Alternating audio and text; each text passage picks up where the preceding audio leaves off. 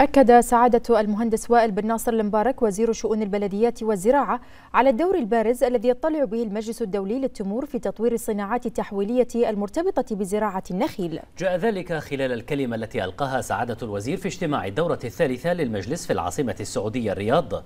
وأكد الوزير خلال كلمته على دعم مملكة البحرين لأهداف المجلس الدولي للتمور الرامية إلى تعظيم الشراكة الدولية للنهوض بهذا القطاع وتأمين استدامته مشيرا إلى أن البحرين تفخر بعضويتها في المجلس الذي يهدف إلى رفع معدلات الأمن الغذائي وتحقيق التنمية الزراعية المستدامة والاستغلال الأمثل للموارد الطبيعية.